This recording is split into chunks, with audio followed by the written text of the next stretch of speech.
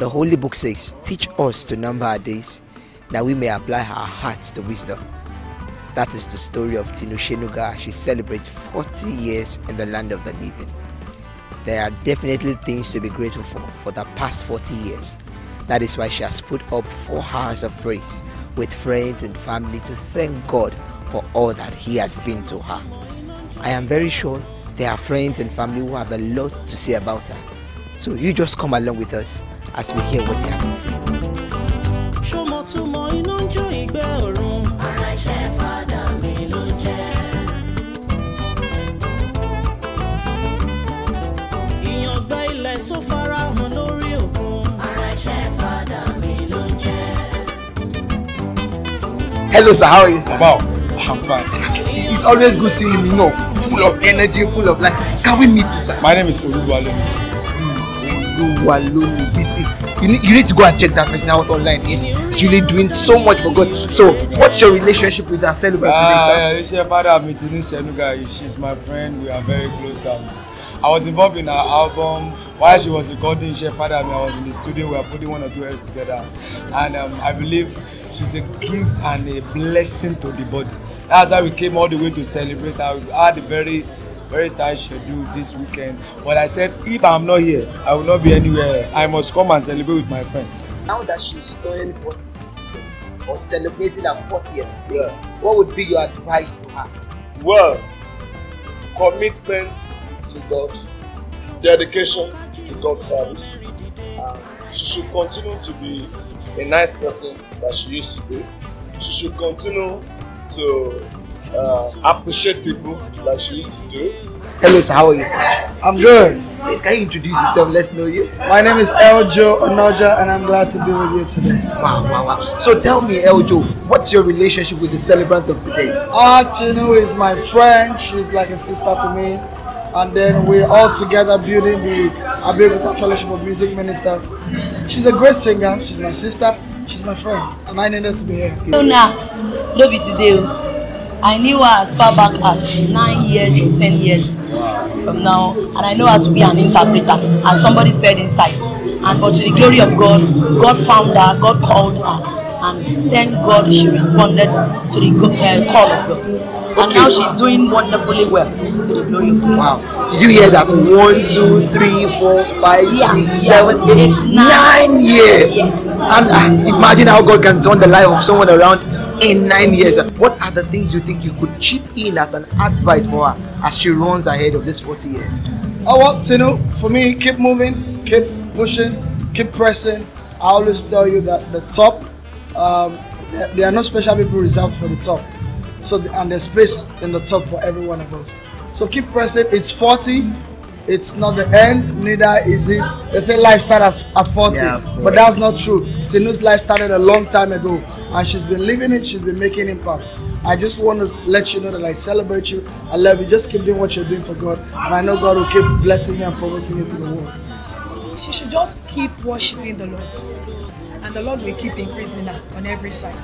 She's an amazing person. I have to say that she she's a life of a place. Uh, she's she's a warm and a pleasant person. And my advice for her on a day like this, that she's marking her 40th year birthday, I want to say that this is just the beginning. God is about to take her to a greater place that she could ever imagine. Stay humble, stay connected to God, and He will see you through.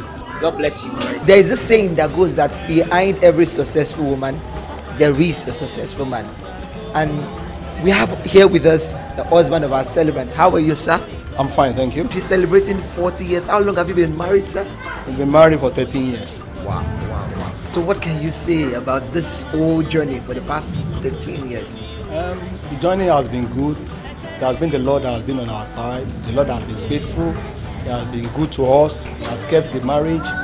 In fact, I'm, ble- I'm blessed to have married her. I'm appreciating God for this. All right. Now, we've had asked people about their opinion and we've heard quite a number of things, but I know that no one would know as much as you do, sir. So, what are the um, challenging times that you've had, and you know that it could only have been God all through this journey, sir? Um, there are many challenging times, but above all, the Lord has been faithful. I remember there was a time that it seems as if I had no job, but the Lord supported us. even by my, my wife by my side, the Lord has been really been faithful to us. Lord has really helped us to pull through the hard times. We really bless God. Now that she's starting life, they say life starts at 40. Now that she's starting life afresh at 40, what is your candid advice to your wife? My candid advice to her as she's starting a new life is that she should hold on to God and keep trusting God, keep believing God. You should never look back. The Lord that has been with her all these years is still the same today and today, the same yes and tomorrow. So I would advise her to hold on to the Lord and serve Him the more. And I see the Lord taking her to higher heights in the, in the name of Jesus. Amen. Thank you so much for your time. We really appreciate you for coming. Okay. Happy birthday once again. Thank you. Now everyone has been hearing Mrs. Tinu Sennuga. Can we meet you, ma'am? this is me. this is me, Tinu Sennuga, aka Chef Adam. Chef Father. So what has the father done over the first year? Ah, unspeakable things. Things I can't measure with words. I think that's the best way. That's the best way I can express it. What I can't express with words, has this my father done in this 40 years. For the past 40 years, I'm sure there have been down times, up times. Through those moments, can you just share with us what your experience has been like? Hmm. The Bible says, Many are the afflictions of the righteous, but the Lord deliver him from it all. So I won't mention them because I've had deliverances from them all, one after the other, back to back. The deliverance have been coming back to back. Let me give you an example.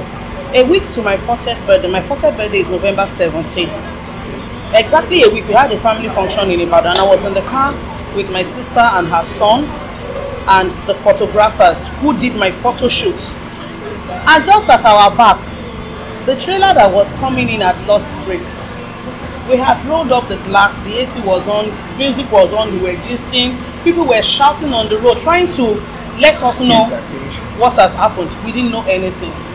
But to the glory of this God that I serve, the trailer just got a space just before the car towards the side of the road.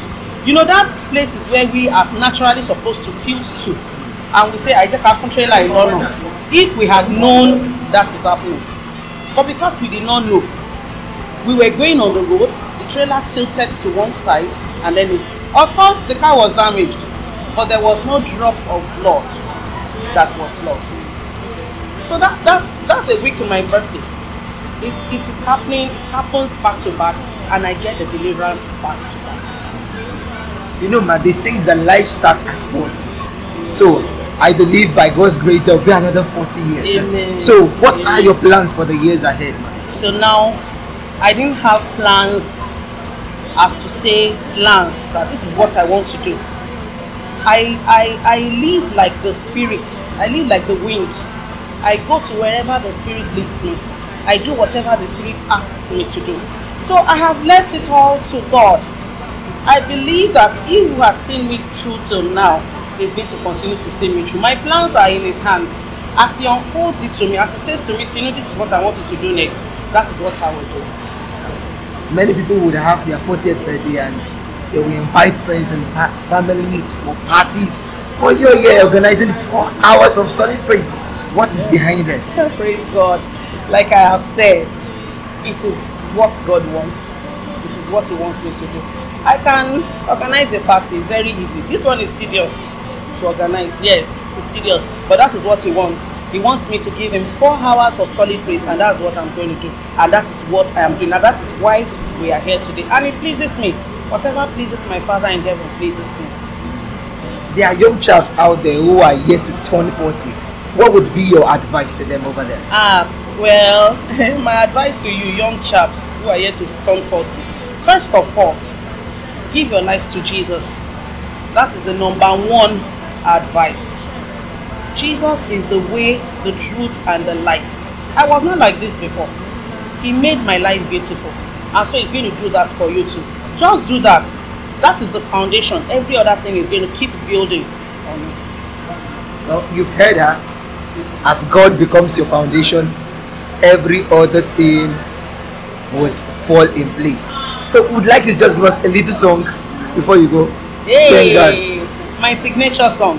ṣọmọ túmọ̀ iná ń jó ìgbẹ́ ọ̀run ara iṣẹ́ fàdà mi ló jẹ́ ìyàngbé ilẹ̀ tó farahàn lórí òkun ara iṣẹ́ fàdà mi ló jẹ́.